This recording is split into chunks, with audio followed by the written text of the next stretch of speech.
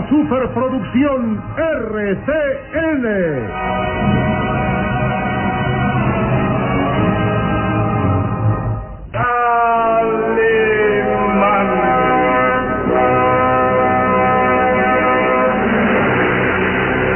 Caballero con los hombres, Galante con las mujeres. tierno con los niños, implacable con los malvados. Así es, Calimán, el hombre increíble.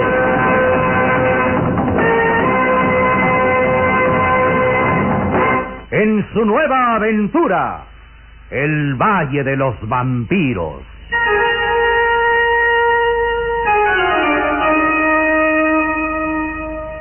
El Valle de los Vampiros.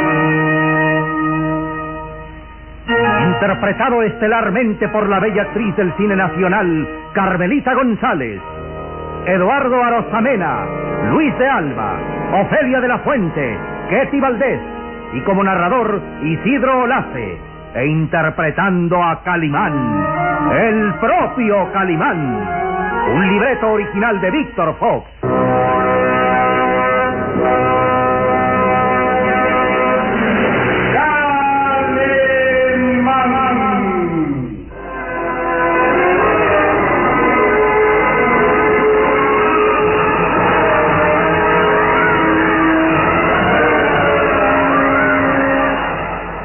Sucedido lo inesperado. Calimán era una víctima más de los vampiros humanos en el tétrico castillo de Boyer. El hombre increíble, el ser invencible y poderoso, que había salido triunfante de grandes peligros, había sido vencido por una extraña y diabólica mujer.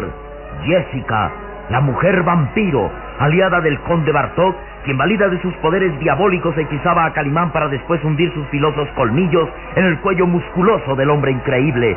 Calimán no moría ante el bestial ataque. Su mente prodigiosa y su fortaleza física resistían el ataque mortal y se transformaba a su vez en vampiro humano. Su rostro se convertía en una máscara siniestra y espectral y celebraba un pacto de sangre y hermandad con Jessica y el conde Bartok. El hombre increíble, aliado ya de los que antes fueran sus enemigos, buscaba el refugio a su cadavérico cuerpo y era conducido hasta un oscuro calabozo y quedaba inmóvil dentro de un gran ataúd de piedra. La bruja Madea y Jorvik trataban de destruir a Calimán. Levantaban la pesada tapa del ataúd y la siniestra mujer iba a hundir una estaca de madera en el pecho de Calimán cuando el hombre increíble, convertido en vampiro humano, escapaba del ataúd. Transformándose en vampiro, agitaba sus negras alas y atacaba a sus enemigos. Hundía los colmillos en el cuello de la bruja ante la desesperación de Jorvik, quien impotente para luchar contra un vampiro abrió una puerta, dejando que penetraran los rayos del sol del amanecer. Al instante, Calimán, convertido en vampiro, regresaba a su ataúd y la bruja y Jorvik escapaban del calabozo, jurando venganza contra aquel vampiro humano. El pequeño Solín, Ruth de Tornel y Jim Preston avanzaban por los oscuros pasadizos ansiando encontrar la salida del castillo. Luego descubrían a Madea y Jorvik y escuchaban de sus labios cómo Calimán, convertido en vampiro, los había atacado. Solín, ¿quieres más pruebas de que Calimán es un vampiro humano? No, no mienten. Tú mismo escuchaste a la bruja y al jorobado cómo hablaron del ataque de Calimán, quien convertido en vampiro hundió sus colmillos en el cuello de la desdichada mujer. No hay duda ya que Calimán es un vampiro y por consiguiente nuestro enemigo, Solín. Jamás daré crédito a eso. ¿No comprenden que Calimán es invencible? Nadie puede vencerlo al grado de convertirlo en asesino. Calimán no pudo luchar contra seres de ultratumba. Es la verdad. Convéncete, muchacho. Jamás, jamás. Antes, debo estar frente a Calimán y saber la verdad.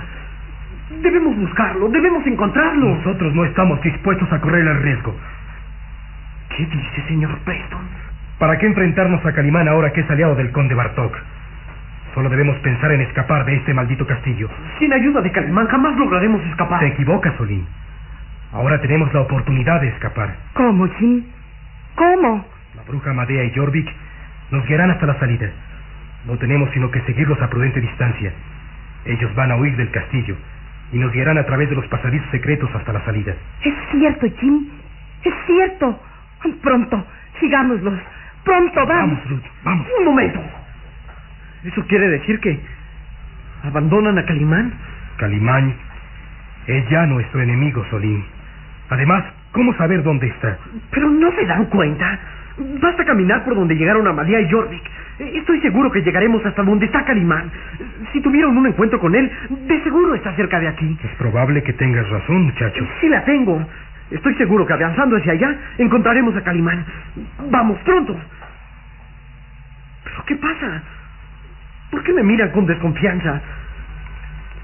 Hable, por favor, señor Preston. Escucha, Solín.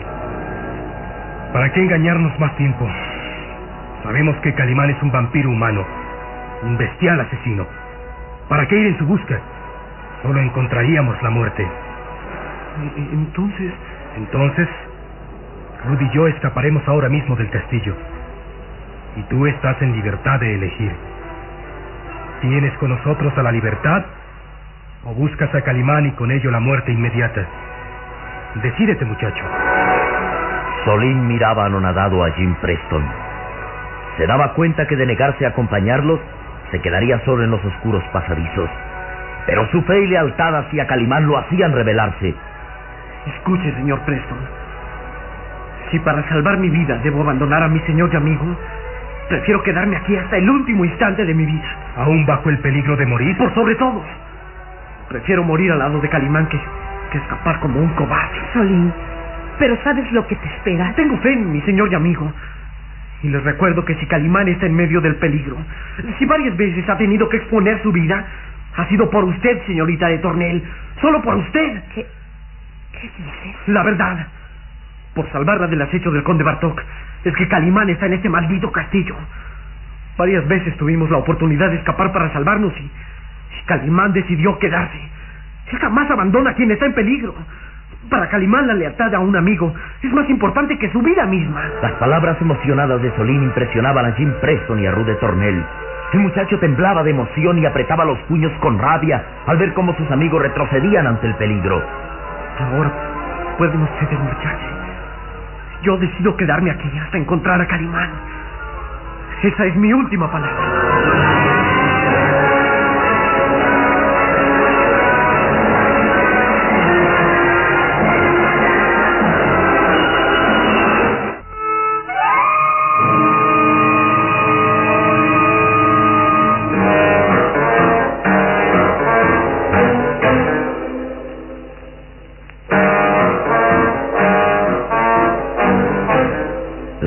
Emocionadas del pequeño Solín despertaban la admiración de Jim Preston y Rude Tornel.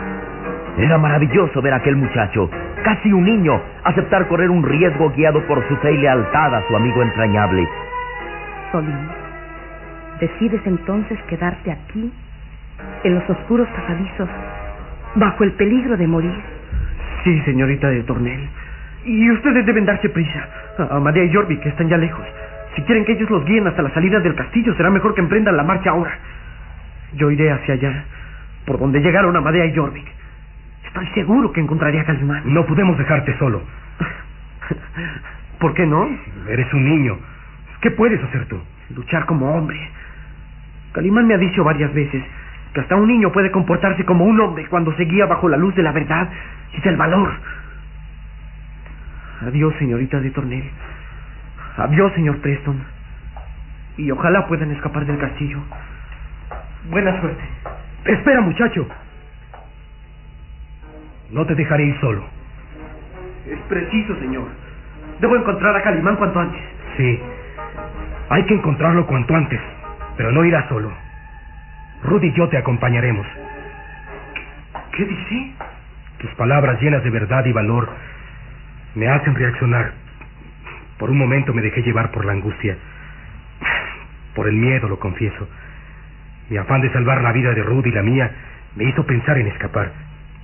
Pero tú me has dado una lección de amistad, de valor y lealtad, muchacho. Si ahora decidiera escapar, me sentiría como el más miserable de los cobardes. No, señor Preston.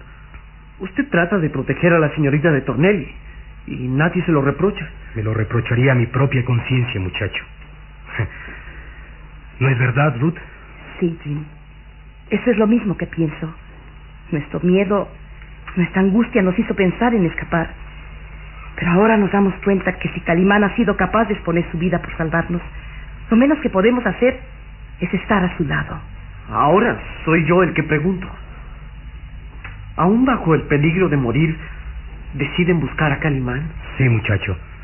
Como Calimán dice, hasta un niño puede comportarse como un hombre cuando se guía por la luz de la verdad y el valor. Bien, Rudy y yo dejamos de ser un par de niños temerosos para estar a tu lado y buscar a Calimán. Eso es lo que haremos. El rostro del pequeño Solín se iluminó con una sonrisa alegre al darse cuenta que sus amigos no lo abandonaban y pleno de entusiasmo, de valor y decisión exclamó ¿Y qué esperamos, amigos? ¡En marcha! ¡En marcha en busca de Calimán!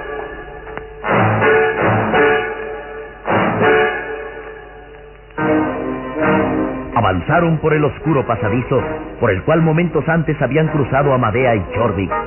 El temor, la angustia y desesperación habían desaparecido en ellos. Era como si la idea de encontrar a Calimán les infundiera un valor asombroso. De pronto, llegaron hasta una gran puerta de carcomidas maderas que les cerraba el paso y... No podemos avanzar más. Esta puerta nos cierra el paso. Tenemos suerte.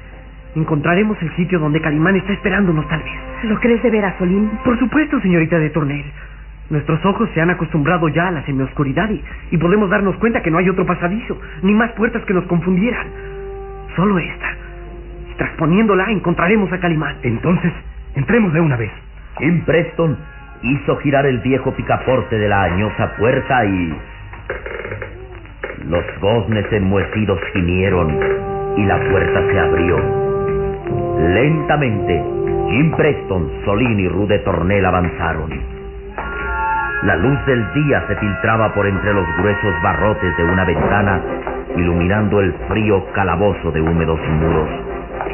Un gesto de desilusión ensombreció el rostro de Solín al darse cuenta que aquel lugar estaba vacío. No está Calimán. Mis presentimientos resultaron falsos. De pronto, Rude Tornel reaccionó temerosa al descubrir. Miren, miren. Un ataúd. Un gigantesco ataúd de piedra.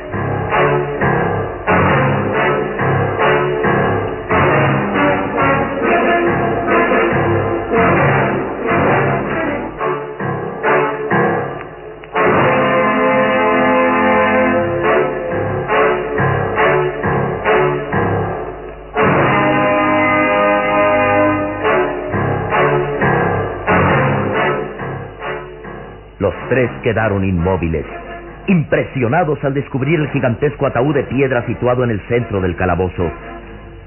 Mil funestos presentimientos cruzaron por la mente de Solín y fue Jim Preston quien exclamó. Un ataúd que puede guardar el cuerpo de Calimán. No. Imposible. Recuerda, muchacho, los vampiros humanos se ocultan de la luz del día dentro de un ataúd y allí permanecen aletargados hasta que llega la noche. Y si es verdad que Calimán se ha convertido en vampiro humano, entonces, dentro de ese ataúd está su cuerpo. No. No. No se dejen dominar nuevamente por el terror. Y para demostrarles que están equivocados, debemos abrir el ataúd. Espera, muchacho. No te acerques. No lo hagas, Solín. No lo hagas. Debemos desentrañar el misterio, borrar las dudas. Quieto de una vez. Escucha, Solín. Buscamos a Calimán confiando en que no sea un vampiro. Si no se encuentra en ese calabozo, entonces debemos salir de aquí cuanto antes. No tenemos por qué acercarnos siquiera a ese ataúd. Usted sospecha que es a Calimán convertido en vampiro. Y yo quiero demostrarle que es una mentira. Ayúdeme. Juntos levantaremos la No, no, por Dios, no. Salgamos de este espantoso calabozo que me llena de temor. Salgamos, por favor. Y Rude Tornel, angustiada y temerosa, se lanzó hacia la puerta, pero antes de que lograra salir, la puerta se cerró bruscamente. ¿Se dan cuenta? La puerta se cerró como impulsada por fuerzas invisibles. Estamos atrapados. Maldita sea la hora en que entramos a este calabozo. Dios mío, ¿qué hacemos? Tratar de escapar. Vamos. Pero que tal vez logramos abrir esta puerta. Jim Preston se lanzó contra la puerta y angustiosamente forcejeó tratando de abrirla. Ruth de Tornel, temblorosa y angustiada, unía sus débiles fuerzas a Jim Preston, mientras que el pequeño Solín pensaba. ¿Será posible que, que Calimán esté dentro de este ataúd, transformado en vampiro humano? Y que sea él con poderes demoníacos quien haya cerrado esa puerta, dejándonos prisioneros. Y Jim Preston y Rude Tornel golpeaban la puerta en intento inútil de escapar.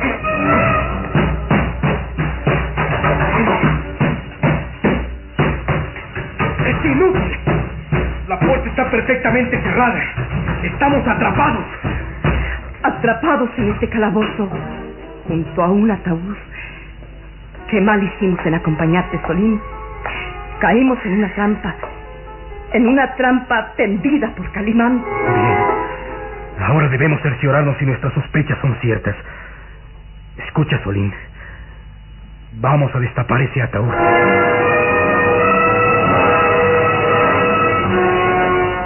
Jim Preston avanzó decidido hacia el gran ataúd y Solín exclamó. Señor Preston, tal vez sería mejor no hacerlo. ¿Por qué? Hace un momento estabas decidido y ahora lo dudas. ¿Por qué, muchacho? ¿Es que al fin te has convencido de que Calimán es un vampiro y que su cuerpo cadavérico reposa dentro de ese ataúd? Escuche, señor Preston. Aún tengo fe en que Calimán no está aquí.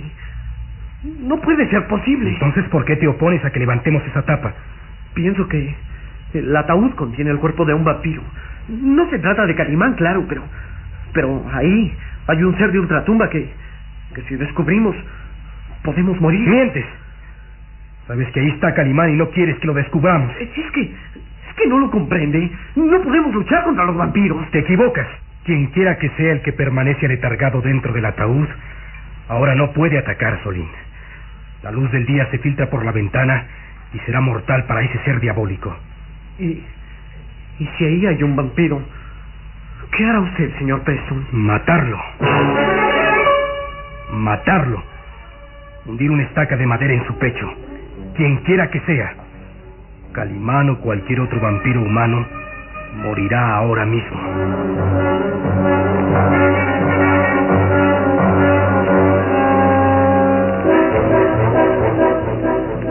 Jim el joven enamorado de Rude Tornel, decidido a descubrir el secreto, lentamente recogió del suelo un pedazo de madera y ansiosamente lo partió en dos.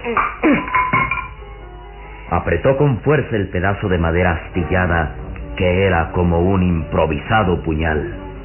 Esto servirá para darle muerte al vampiro que yace dentro del ataúd. La estaca de madera clavada en el corazón de un vampiro humano es la única manera de matar a tan diabólicos seres. ¿Y. y si es Calimán quien está ahí? Entonces mataré a Calimán. No. No. Espere, por favor, señor Preston. ¿Qué sucede? ¿Ahora ya no estás tan seguro de la inocencia de Calimán? ¿Ahora tienes miedo de que lo descubramos convertido en vampiro y, y muera en el acto? Pienso. Pienso, señor Preston, que es peligroso destapar el ataúd. No lo es porque yo estoy armado. Ruth, ayúdame. Pero. Juntos levantaremos la tapa del ataúd. La joven y hermosa Rude Tornel, venciendo su pánico, su terror, posó sus débiles manos en la pesada losa. Jim Preston apoyó las suyas y haciendo un esfuerzo supremo, empezaron a levantar la tapa del ataúd.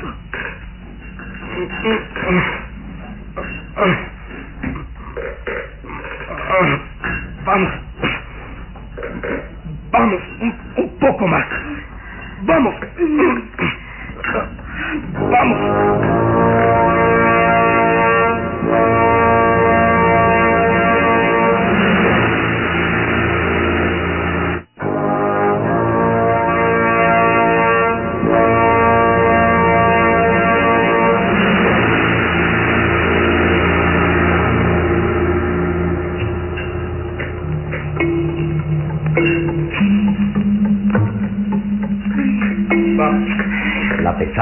Tapa del ataúd empezó a ceder lentamente.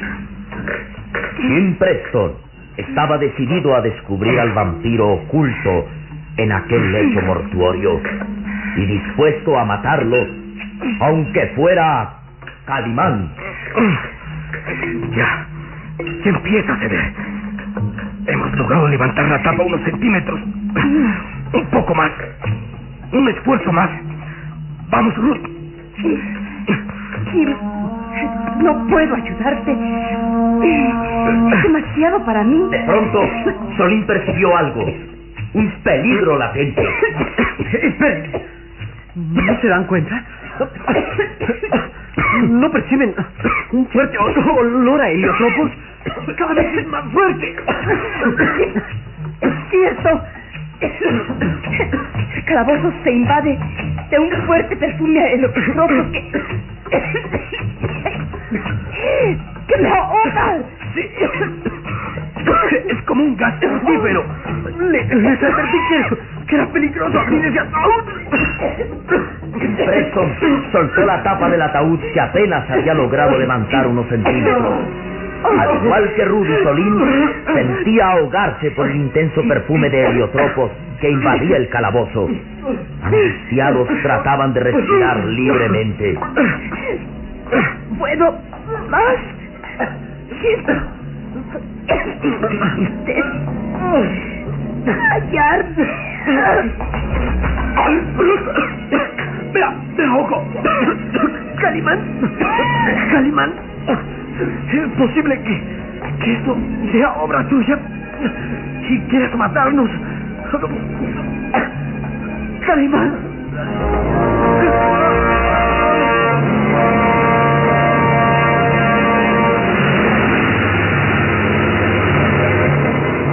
Los tres quedaron inmóviles, dominados por el intenso perfume.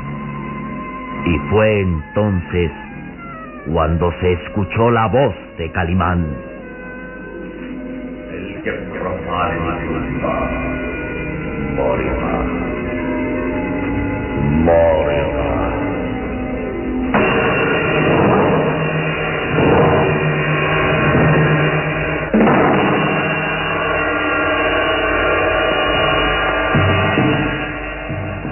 ¿Es posible que Calimán convertido en vampiro trate de matar a sus amigos? ¿Qué sucederá cuando llegue la noche y los vampiros salgan de sus ataúdes?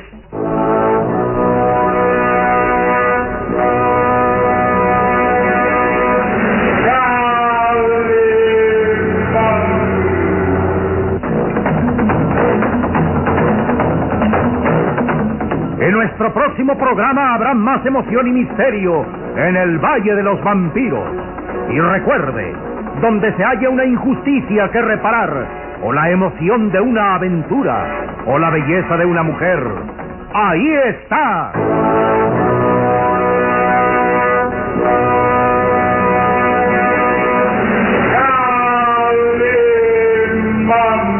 El hombre increíble.